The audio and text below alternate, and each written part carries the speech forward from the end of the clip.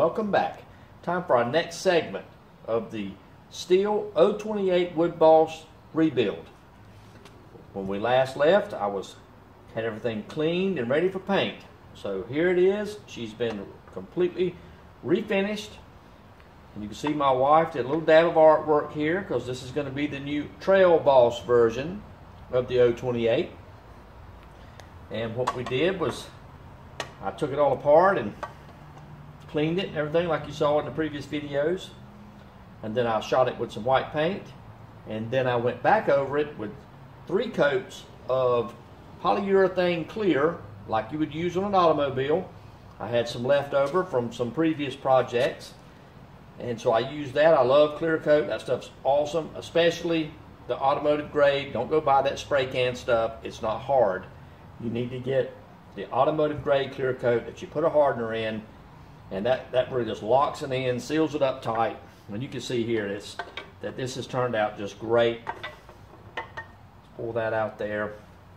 I mean, I think it's just beautiful. She's ready to be uh, carefully reassembled. And that's what we're going to do next. We're going to start by putting in, in just basically reverse order of what we did in the other videos. I'm going to put the bearings back in. I'm going to put uh, this cover back together. Uh, I'm going to put the crankcase back in it, gaskets, seals, all that stuff. You're going to see all that. And we're going to continue on with our videos.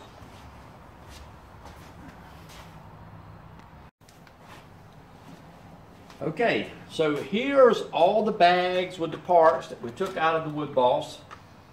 And it's a lot of parts.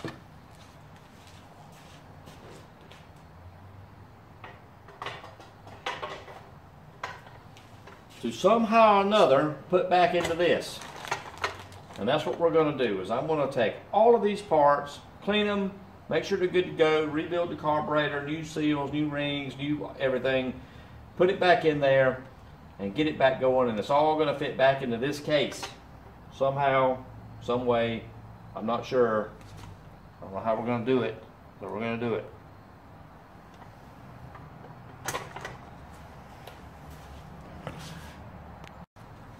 Okay, so let's talk about the new parts that I bought for this saw. The new parts. Now, I don't want you to crucify me, okay? These are Chinese parts. Chinese aftermarket parts. Not my favorite thing. But they were so cheap that I could not pass it up. They may fail, I don't know, but I can tell you right now that what I'm looking at is as good as what I've taken out of the saw so far. Okay? So what I got here was, first of all, a new piston and jug.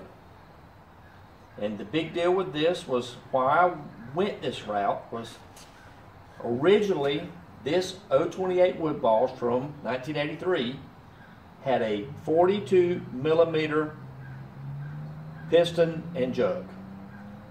Later on, the 028 had a 44 millimeter piston and jug, and then the Super had a 46 millimeter piston and jug. So for $20, 20 bucks, I got a jug and a piston and a set of rings for 20 bucks.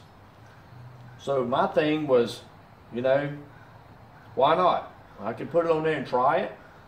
And it's not like this saw is going to be run every single day of its life. It's going to be used on the trail.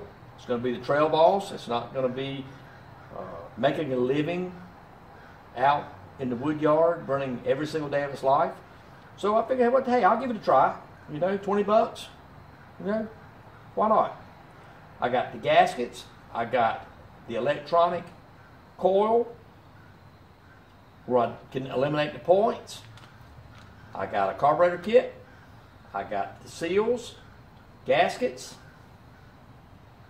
wrist pin, exhaust gasket, fuel line, impulse line, a plug that I was missing, a fuel filter. Not planning on using this fuel filter. I will probably, as of right now, the way I'm leaning is I will clean out the original and put it back in. I may change my mind and the bearings. These bearings feel fine. Looking at them here. They feel fine, okay? They feel good. They're identical to what came out of the saw. Now, I can tell you that if you go on eBay and you look up a jug and a piston for this saw with a set of rings, you are going to pay $80 for the same thing I bought for 20. You're going to buy the same thing from them for 80. What they're doing is they're buying it for 20 from China and they're selling it to you for 80. That's what they're doing. So don't be fooled. That's what they're doing. So unless you're going to go to the Stihl chainsaw dealer and buy Stihl jug and piston, you're probably buying a Chinese bottle anyway. So why not? Let's give it a shot. You know, if it don't work out, I'll be the first one to admit I was wrong, and I'll put the 42 millimeter jug and piston back on it because it was not damaged at all. I'll just put new rings in it and put it back on. No big deal. I mean, you can see what I've done so far was taking it apart and putting a new jug and piston on it. It's nothing.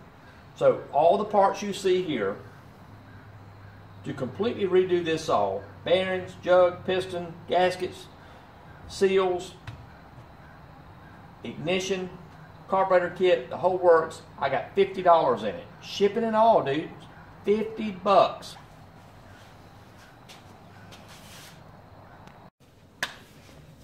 All right, now that we've done talked about the parts and all that, and we've gotten that out of the way, we'll talk about putting the bearings back in, the new bearings. And this is the big one. And you can see here that when I painted the case, that of course, you know, paint will get in here on this bearing surface. So I real lightly cleaned that up. I want to make sure that there was nothing in there to be too big. And, you know, you read online about um, heating this up and heating the case and putting your bearings in the freezer and, and all that. And, and I guess that works if that's what you need to do. But uh, we're going to take and work on uh, tapping this bearing back in. And I'm going to support this up a little bit more. Maybe right here. I don't know. We'll, we'll give it some support and, and I'll show you me tapping this baby back in, okay?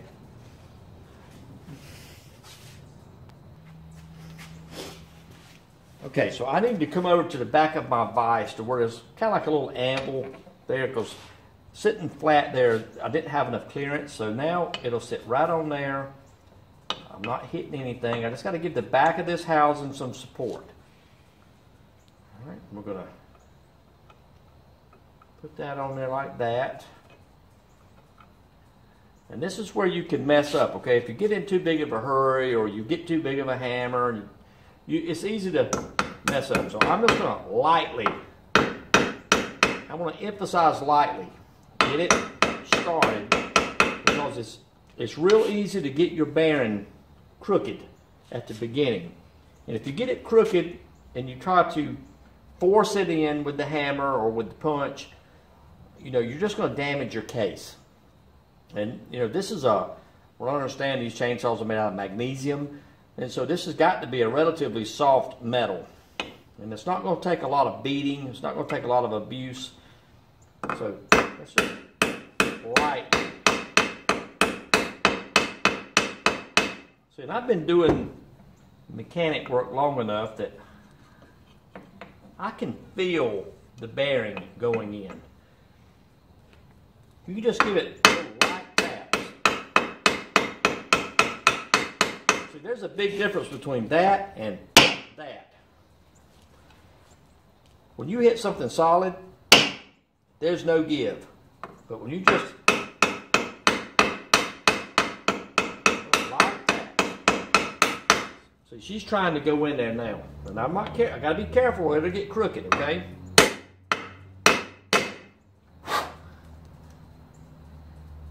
Alright, now I know what some of you are gonna say. Those of you who are experienced mechanics will say you shouldn't be hitting on the bearing, period, or not with a brass hammer because you put little pieces of brass down in there. And that's true. That's true. But I will tap on it with one to get it started and get it straight and make sure we're good before I do this. She's going in. And I'm basically using the weight of the hammer with just a little, that's all.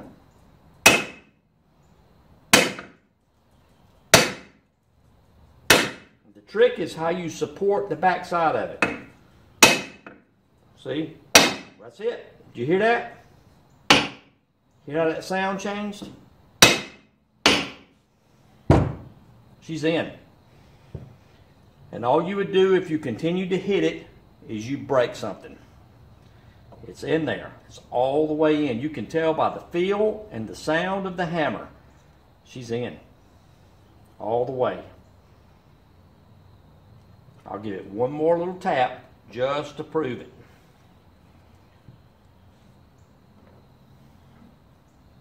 One more little tap. Make sure I'm supported there. One more. One more little tap. Let's make sure we're back on there straight. That's good right there. One more little tap. See, that's in. That's all the way down. Any more and you'll break something. You'll do damage. That's perfect, man. Perfect. Now here's where your seal is going to go down in there. That'll be later after we put the crankcase back together. We'll put the seals in. One bearing in.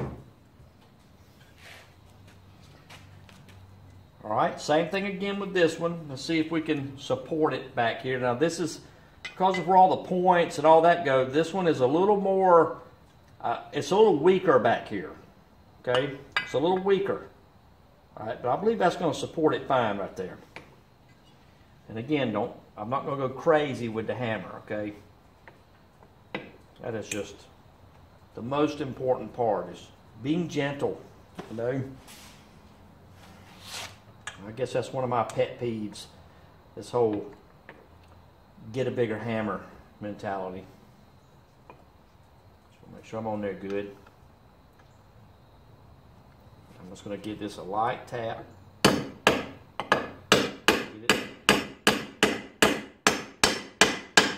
Get her started straight.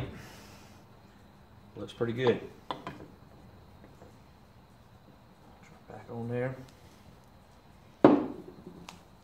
I'll use the same punch. Same, same technique. I'm going to hit it and just give a little wrist flick.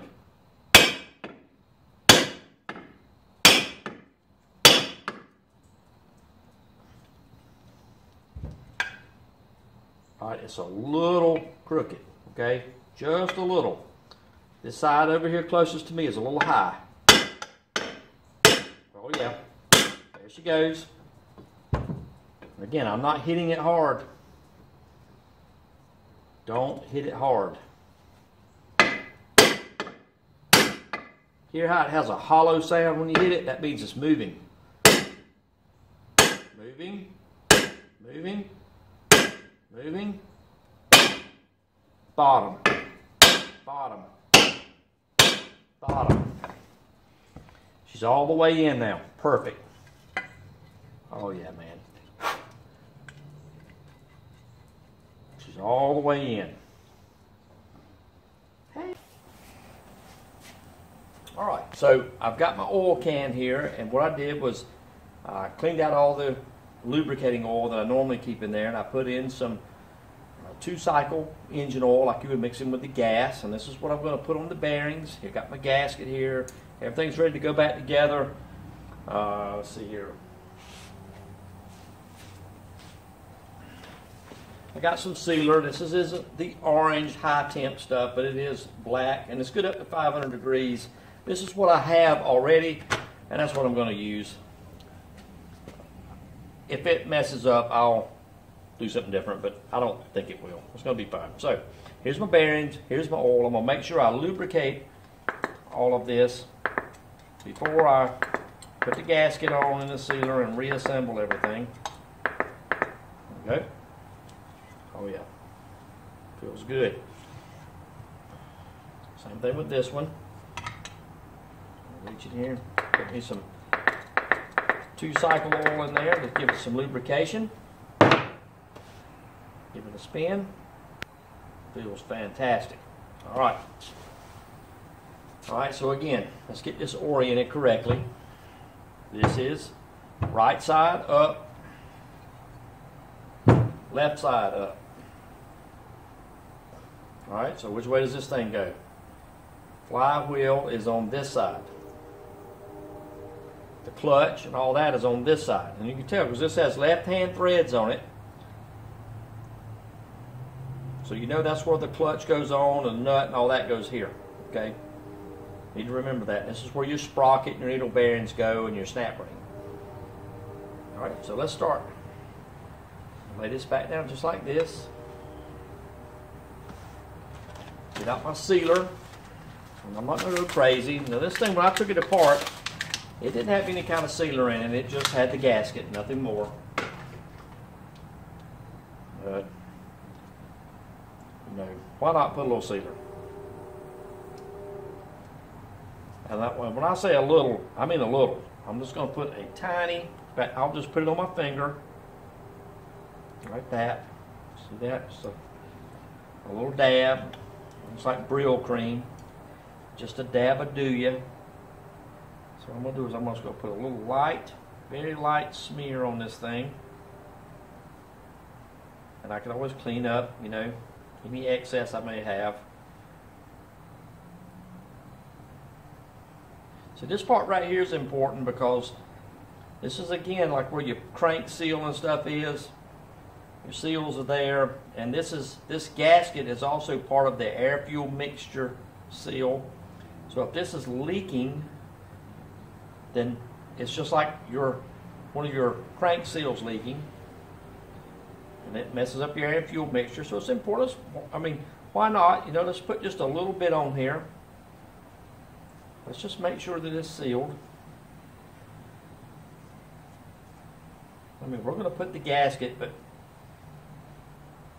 let's not place all of our faith in just a piece of paper. Put a little bit of sealer here. Then this is for the oil cavity. That's all this in here is where your bar and chain oil goes. a little dab, tiny little dab there. And again, you, if you go crazy with this stuff and you put too much, it'll end up getting in here and stopping up maybe this, this oil pickup hose that's there. We don't want that. All right, so I'm going to start reach here, get me a rag, and I'm to clean up this little bit of extra that's here. Just like that. Let's get that out of there. Keep things as neat as possible. We've gone all this trouble to clean it and paint it. Let's keep it clean. All right, here's our gasket. And we're just going to lay this thing on here, put it over the dowel pins. Put it over your dowel pins. That'll, that'll hold it there for you.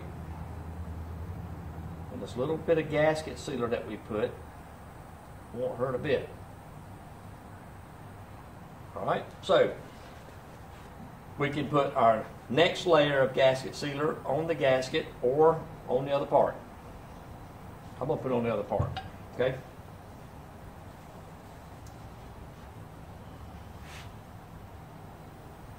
A bit on my finger there, you see that? Just a little dab.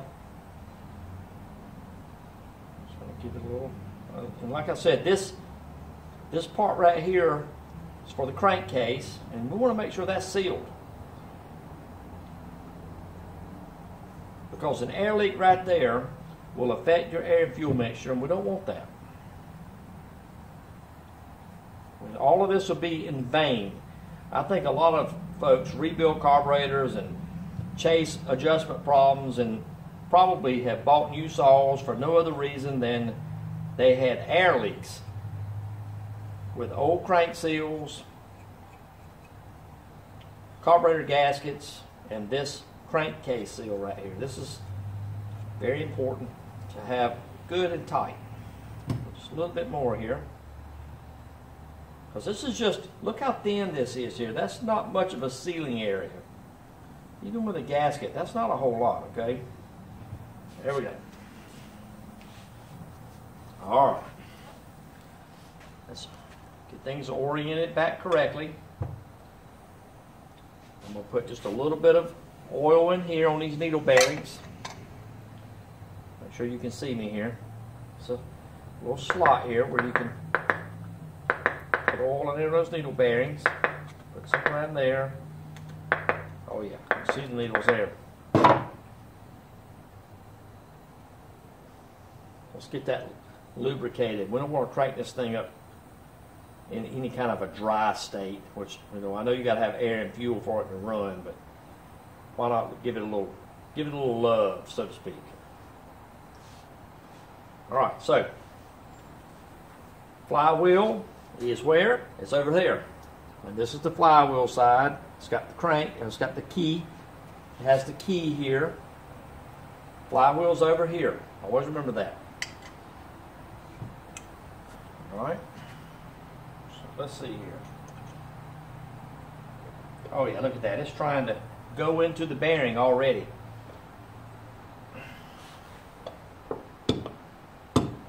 Look at that. I pushed it in. A little wiggle, little wiggle, and it was in.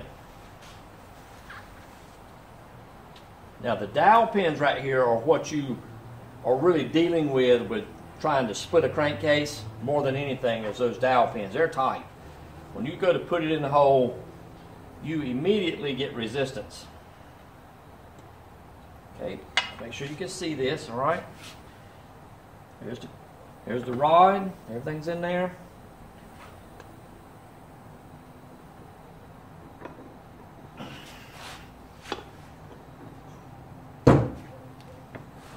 Oh yeah.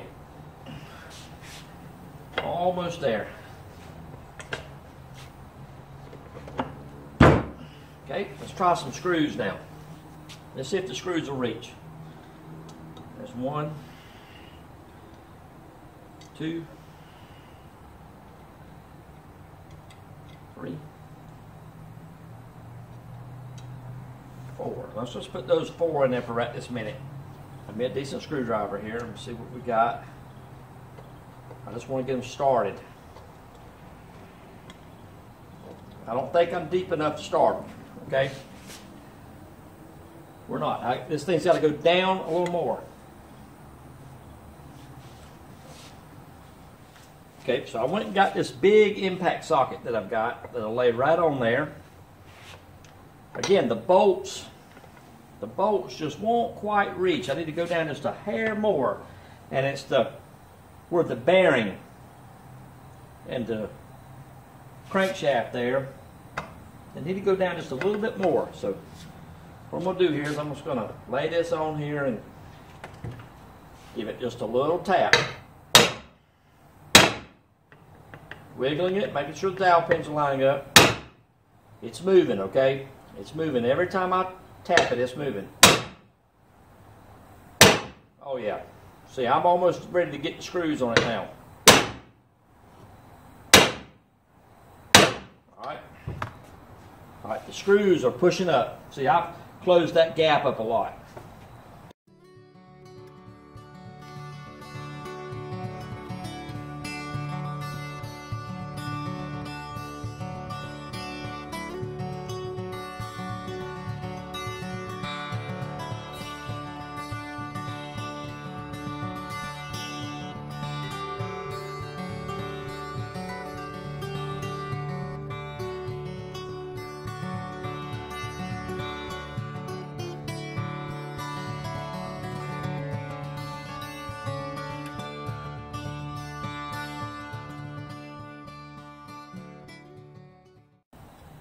Clean this up.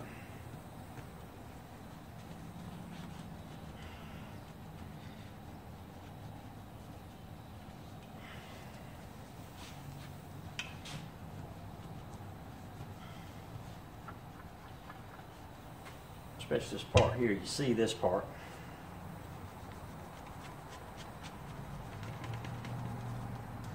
All right, there she is, sealed up all the way around. Okay, so here's what you run into on this is that, you know, I pushed, if you remember, I pushed this crank down into this bearing by hand. All right, then I got up here and I hit on this part of the case with this socket, pushing this part over the crankshaft. But it also crammed the crankshaft to one side. You see that? It's jammed in there to one side. So what I need to do now is come back, support the support this back side like this, just big socket. Sit it on like this. I've screwed the nut back on here. And then just give this a little tap and try to knock this drive shaft, this crankshaft, excuse me, back centered.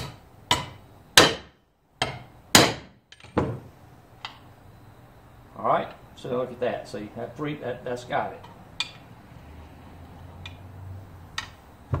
Make sure I stay down here where you can see it. It just needed a little tap.